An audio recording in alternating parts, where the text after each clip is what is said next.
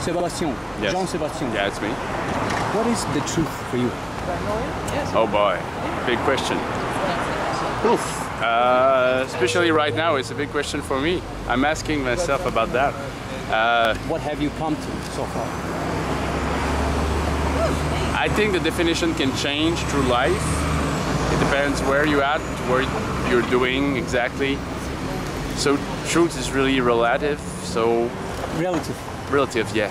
It's. Um, I think it's something that is not clear, but I think it's something that's deep inside and uh, something that is sweet. Actually, I think what is truth is sweet. So if it's not sweet, maybe it's not true. It's, If it's not, not the truth. then it's not not true. The, the truth. Yeah, maybe it needs to be something like, you know, um, It's got the sweetness to it. needs. Yeah, for me, my perception. I cannot maybe say more than that for now because um, it's a confusing question, especially right now. What is absolute truth? One unique truth for all the people of the world.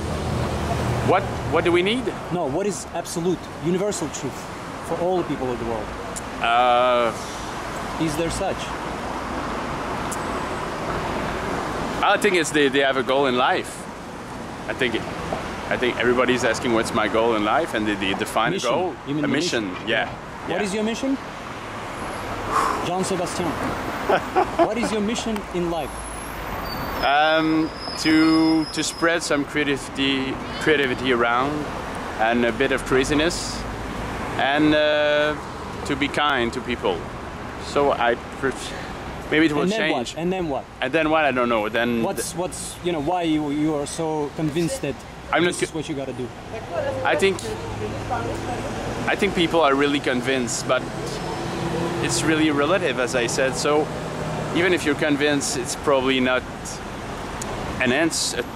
Actually, an answer for everyone. It's an answer for you only. So it's uh, Jean Sebastian. What does the A represent again? this A on this T-shirt Yes. represent uh, phobia. Every phobia that starts with Start A. with- yeah, exactly.